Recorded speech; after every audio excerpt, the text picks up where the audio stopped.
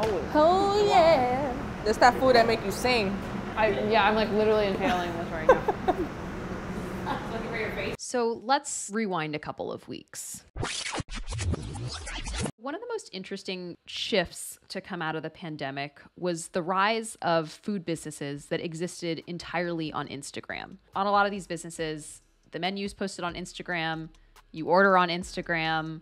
I always think about how the best restaurants in the world we may never get to try because they can't afford, you know, a brick and mortar space from their personal savings. But Instagram introduced us to this whole crop of unbelievably talented chefs, all making food that felt really unique to them. And that's how I found Black Rican Vegan. It takes an actual village to run a restaurant. It takes cooks to cook the food, a chef to design the menu, social media people to get the word out, an operations person to make sure that everything's running smoothly. At Black Rican Vegan, Lyana is all of those things. I sold out within an hour.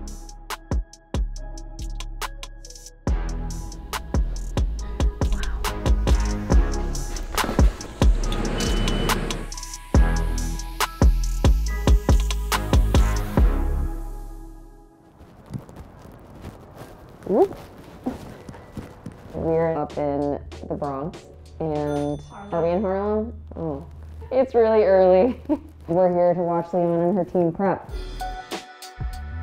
My name is Lyana Blount. I'm from the Bronx and I'm the owner and chef of Black Rican Vegan, soul food and Puerto Rican food with a vegan twist. You're a great older cousin coming here at 6 a.m. to prep. Yeah, she loyal. I've never seen so many vegetable bouillon cubes. I brought it to the lady. She's like, you want me to scan it one by one? I said, it's 22. Like, And what are those plantains for? it's to make pastelón. Oh, those are for pasta. We're working on the deadline, so we have to make sure that everything is done by at least 11 o'clock. Both of my drivers have to be here by 12. Okay, got it. And on the menu, we're doing chopped cheese, pastelillos, beefless and guava and cheese, pastelón, and eh, burgers, and soup.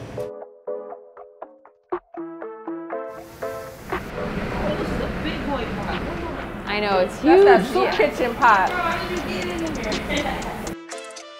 Just the energy like pick up the closer to 11 that it gets? It just depends on a week. Before I got into the kitchen space that I'm in now, I was working from home. You were doing all the food at home? all the food at home. you were frying in your apartment? Yes. Oh, Don't tell anybody. all my counter spaces and some side tables. I just made it work. You just have to make it work. I am not vegan, but I was oh. raised I was I was raised vegetarian though, so this food is speaking my language. Black Rican vegan. What did it start as?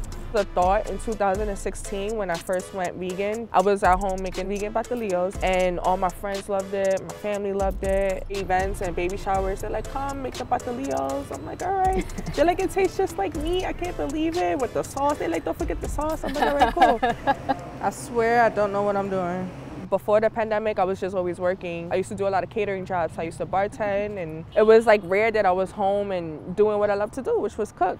When the pandemic slowed all of that down, I had time to get creative and cook for the family and post it. I maybe had like almost 100 followers, Yeah. and it blew up when I posted the pernil plate. Y'all see that? Just like pernil. This is jackfruit. They're like, what?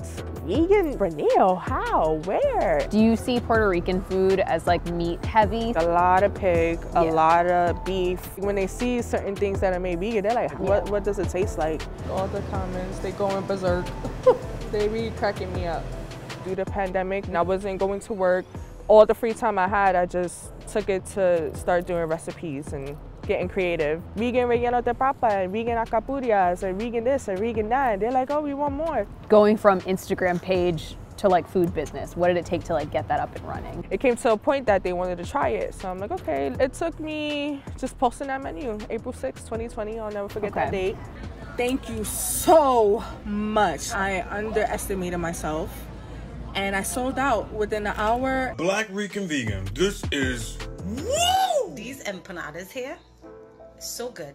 I'm always selling You're out. always selling out. Yeah, I'm always selling out. That's awesome. yeah. Fastest you've ever sold out. Five minutes. Five minutes.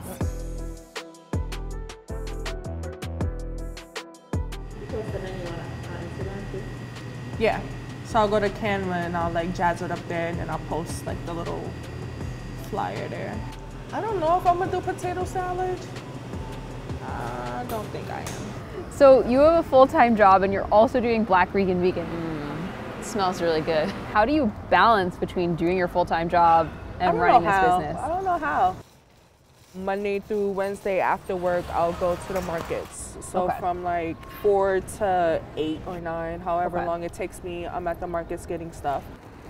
I'm at the school between Monday and Wednesday, and then I'm prepping Wednesday evening to like Friday Wow. to get ready for the weekend service. Does this vegan cheese melt like mozzarella? Yeah, but you have to make sure that you cover it so that when it bakes, it like Oh, okay. moistens. Because if it's uncovered, then it'll be like like sticks. And you want to put it in now or wait? I want to put it in now. Alright, We gotta start um, done. Now hold it. packing soon. Ooh, that baby melted. We have a, a lot of hits: the pastelón, the vanille, oyster mushroom burgers, the mocktails. Whenever I have the strength to do it, What are those made with? They're made with a secret ingredient that I can't say, but they are Fair made enough, with fair plants. enough.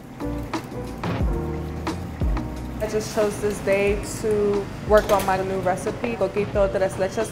This is the coquito, and when you chill it, it gets a little thick. Coquito is a big thing in Hispanic households during the holidays. All right, now I'm gonna chill it. I just thought infusing it with a dessert. I'll execute the recipe, and if I like it, I'll take a picture with my iPhone.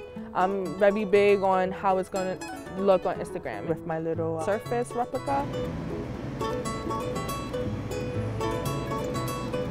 My mouth is watering right now.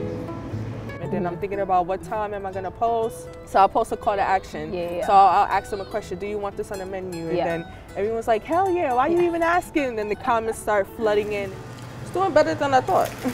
Crying inside, sick of you. 15 minutes, almost 300 likes and a couple comments. We have a new menu item.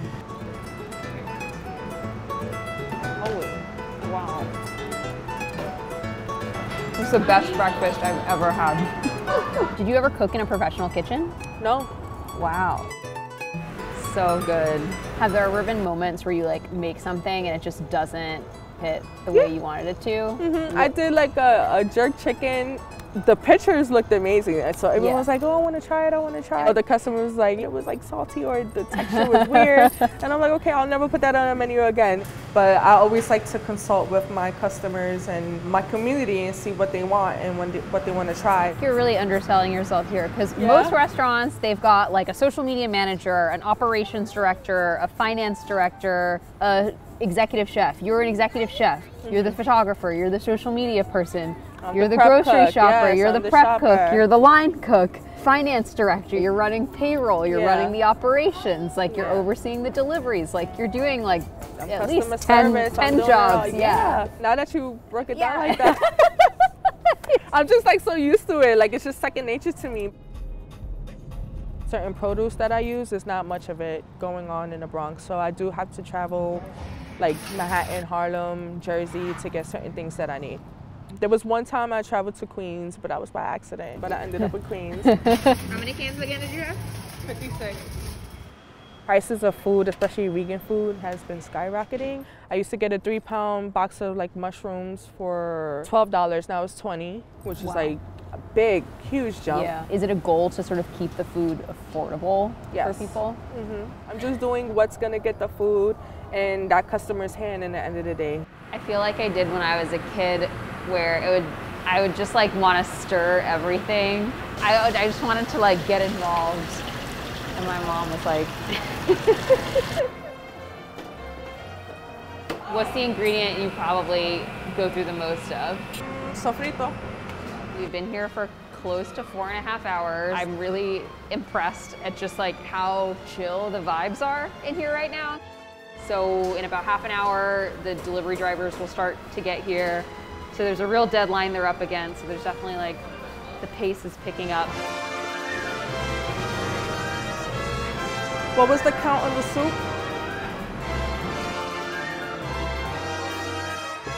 It's a well-oiled machine. Like this is incredibly difficult and they make it look really easy, honestly. I've done putting together 100 items, keeping food hot, like all of these things are so hard and they've just like thought through every situation. And can you put more, like two Right there? strips there? All right, go. Some of your staff is your family, right? Yes. we all laughing and eating the food and springing ideas off each other. Natalia, she lives in PA and she comes, she'll be like, all right, I'm gonna come down to New York and help you and she'll like find places to stay. That's amazing.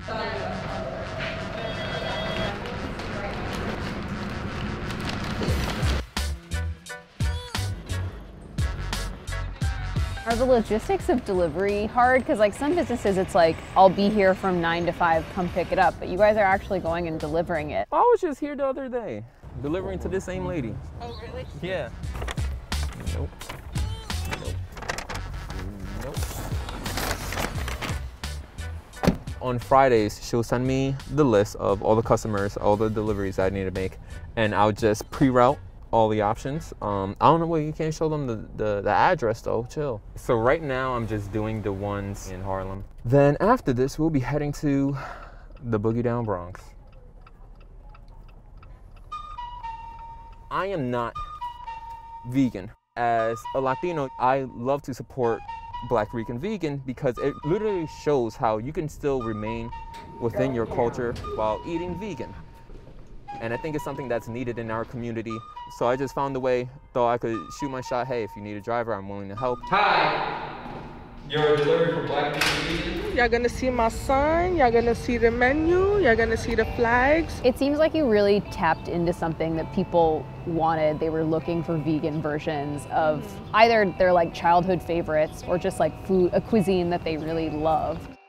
I was surrounded by my Puerto Rican mom and uncle and grandmother. My mom, she raised us pretty much kind of alone and she worked a lot. When my mom was at work and me and my brother and my sister, we were home, I was in charge of cooking the meals for us um, when my mom didn't have a chance to. So that kind of, I guess, grew my love for cooking because I saw it as a love gesture as well. I look at my page and I'm just like in awe. I do suffer from imposter syndrome because I don't understand how this came about and that it's mine. Yes, look at that reaction. I'm just surprised that every time I put out a menu, people are ordering, and every time I'm at a pop up, people are online waiting for that food. grateful for that. I don't even know what to say. We want to put Black Rican Vegan everywhere. We want to put products in stores. That's the overall goal. You, you missed his dance. He was hype. Let's have a great one. Oh, definitely. Enjoy. Do you take vacations? Yeah. I was like, I had to think about that. Like, what's the last vacation I took?